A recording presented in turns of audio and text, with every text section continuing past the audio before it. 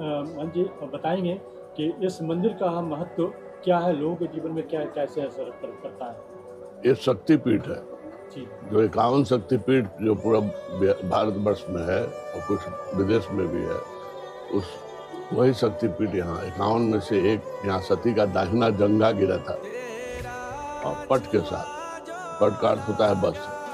और भगवती यहाँ तीनों रूप में है। महाकाली महालक्ष्मी महासरस्वती। तीनों शक्तियाँ एक साथ हैं। है। जी। और इनके गर्भगृह में ही इनके भैरव व्योम के भैरव। कहीं भी देखेंगे तो जहाँ माँ का स्थान है उससे किलोमीटर आधा किलोमीटर की दूरी पर मैंने अवस्थित है भैरव। लेकिन यहाँ माँ के गर्भगृह में ही अवस्थित है शुरू से। जी। तीनों शक्तियाँ होने से इनका नाम पुराण में सर्वानंद करी है। सभी प्रकार की आनंद को देने वाली ये। पट का अर्थ आता है वस्त्र वस्त्र के साथ जो गिरा था, इसी से पटना पाटलिपुत्र जितना भी नाम पड़ा है इन्हीं से पड़ा। इन्हीं के नाम से इनके नाम से। जाना जाता है। जी ऐसे और- लोग यहाँ के लोग बुलगर के नाम से जानते हैं प्रसिद्ध है लेकिन एक्चुअली रियल अगर माने सही सही में माने तो माँ पटन देवी के नाम से ही इन्हीं है। इन्हीं से सब कुछ है। इनके बिना एक पत्ता तक नहीं डोलता है। मैं तिहत्तर वर्ष का उम्र हो गया है मेरा और मैं पाँच वर्ष की अवस्था से महंत हूँ पाँच वर्ष के बालकाल से और इसका अनुभव मैंने किया है। आप दंत कथा हो चाहे और किसी किताब में, पुराण में पढ़ते हैं, सुनते हैं कि ये ये वर्णन है, ये वर्णन है, ये कि ये वहाँ का ये ख्याति है।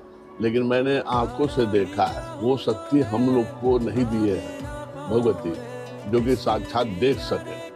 लेकिन ये साफ़ पता चलता है, पैर की आहट, पायल की आवाज़ साफ़ सुनाई देती है, अभी कहाँ जाती है, वो जाने। ये नगर रक्षिका भी है, पूरा नगर भ्रमण करती है। पूरे नगर भ्रमण करती है जिस तरह से सुदर्शन चक्र के आसपास में किसी प्रकार का व्याधि नहीं आता है उसी तरह से ये माँ का क्षेत्र है। ये पूर्णतः क्षेत्र सुरक्षित है। यहाँ बाढ़ प्राकृतिक विपता नहीं है। आपदा नहीं आती और एक बार एक बात और बताएँगे कि लोग के लोगों को भी ये समझ में नहीं आ रहा है कि यहाँ माँ माँ सती का जंगा जाना जंगा क्यों किया ये। ये ये तो कहानी पूरा करना पड़ेगा।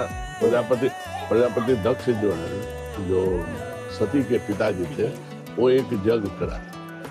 जग कराए तो जग में सभी देवताओं को बुलाया गया लेकिन शंकर जी को आमंत्रित नहीं किया। तो ये बात शंकर जी को मैंने पार्वती को मालूम हुआ कि हमारे पिता के घर में यज्ञ हो रहा है। तो उसको जाने के लिए तो शंकर जी मना किए कि वहाँ हम लोग को बुलाहट नहीं है बिना बुलाहट का नहीं जाना चाहिए।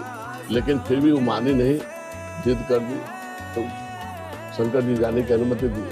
जब वहाँ गई है तो देखी कि सभी देवी देवताओं का स्थान बना हुआ है लेकिन शिव जी का कहीं स्थान नहीं है। तो क्रोधित हो गई। पिताजी से पूछी कि "हम्म, पिताजी बिना शिव का आपका जग कैसे सफल होगा? आप उनका क्यों नहीं स्थान दे दिए? उसके बदले में उन्होंने अभद्र भाषा का प्रयोग किया। मैंने अभद्र भाषा क्या? कि नाग लपेटे हुए है देह में विभूति लगे हुए है आलोचना करने लगे। उस पर उनको बर्दाश्त नहीं हुआ। तो हमन कुंड जो था कुंड में वो कूद करके अपने प्राणों की आहुति दी। जब प्राण तब उसके बाद ये शंकर जी के बाद वो तो सब जान त्रिकालदर्शी थे सब कुछ जान ही रहे थे। वो उसके बाद खबर जाता है तो वो आते हैं दच दक्ष का गला काट करके बकरे का जो मुड़ी लगा देते हैं और इनके शरीर जो सती का था अपने कंधे में पर रख करके उन्मत भाव से तांडव करने लगे। जो तांडव करते हुए तो पृथ्वी डगमगाने लगी। सभी देवी देवताओं में ऋषि मुनि में हाहाकार मच गया कि अब तो पृथ्वी का नाश है। तो फिर हर एक काम में ये लोग विष्णु जी इनको शांत करते थे तो सभी देवी देवता विष्णु के पास गए। कि ऐसी ऐसी बात है। तो विष्णु भगवान आते हैं तो देखने के बाद कहते हैं कि जब तक कि सती का शरीर इनके अंग पर रहेगा तब तक ये शांत होने वाले नहीं है। तब उन्होंने अपने सुदर्शन चक्र से अंग प्रत्यंग काट काट कर गिराना शुरू किया। तो वो इक्यावन जगह गिरा इक्यावन जगह में एक जगह ये यहाँ सती की सती का दाहिना जंगा पट के साथ गिरा। तो बहुत अच्छा लगा जो आपने इतनी बेहतर जानकारी दी। क्योंकि बहुत लोगों को ये जानकारी नहीं पता है और ये महत्व इस यहाँ के बारे में नहीं पता है। और एक चीज़ और बताएँगे कि मेरे मैंने सुना है कि यहाँ पर इस मा- जो महाशक्तियाँ जो हैं उनकी मूर्ति एक नए मंदिर में स्थापित हो रही है। ये नए मंदिर नहीं है जहाँ वो अवस्थित थी जहाँ गर्भगृह है वहीं पर वहाँ से हटा के अलग कर दिया गया है। हमारे मुख्यमंत्री आदरणीय नीतीश कुमार जी ने आठ करोड़ रुपया दिया है। इसको निर्माण करने के लिए। हाँ निर्माण के लिए। हाँ और वो निर्माण माने अब हो जाएगा तो फिर भगवती अपने स्थान पर चली जाएगी। अपने स्थान पर चले जाएँगे।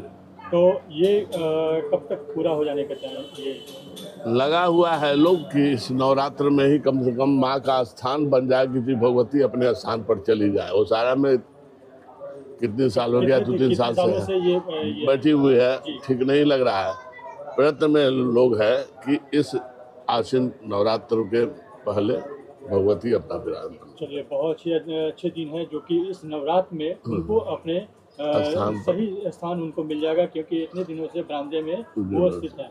और एक और बात बताएँगे कि यहाँ ये हवन कुंड जो है हवन कुंड का क्या महत्व है? ये योनि कुंड है भगवत माने योनि कुंड है वहाँ से वो अलग नहीं किया जाता है। ठीक माँ के स्थान से ठीक सामने पड़ता है वो योनि कुंड। उसमें आज तक जितना भी आप श्रद्धालु भक्त जो है हवन करते हैं उसमें से निकाला नहीं जाता है। कोई सामग्री हटाया नहीं जाता है। आप नवरात्र में जब आइएगा तो लगभग 20-25 फीट के व्यास में और लगभग चार पाँच फीट ऊँचा हो जाता है हवन। हवन? हाँ और दो तीन दिन के बाद आइए तो सब अपना जगह पर सामने हो जाता अ, अपने स्वतः है स्वतः। वो खुद अंदर जगह पर चली जाती कुंड के अंदर चले जाते चली हैं। बस आप उसमें से जो राख लेते हैं तिलक लगाते हैं आशीर्वादी के रूप में वही और उसके और पता नहीं कहाँ चला जाता है तो लोगों को अभी तक ये पता नहीं है। ये समझिए कि ये माँ देवी का ये महिमा ही है जी। कि लोगों को अभी तक इसके बारे में जानकारी नहीं हुई। है तो बहुत बहुत धन्यवाद मोहन जी, जो आपने इतनी अच्छी जानकारी दी। धन्यवाद। आपका अपनी इस रोचक यात्रा को हम यहीं पर समाप्त करते हैं और अब मिलते हैं एक नए जानकारी साथ नए ब्लॉग में। अगर अभी तक आपने इस चैनल को सब्सक्राइब नहीं किया है तो नीचे दिए सब्सक्राइब बटन को प्रेस कर देंगे और बेल आइकन को भी प्रेस कर देंगे ताकि फ्यूचर में ऐसे ही जान, एक से एक जानकारी आपके पास पहुँच सके और रोमांचक वीडियो आपके साथ को मिलता रहे। तब तक के लिए धन्यवाद। जय श्री राम।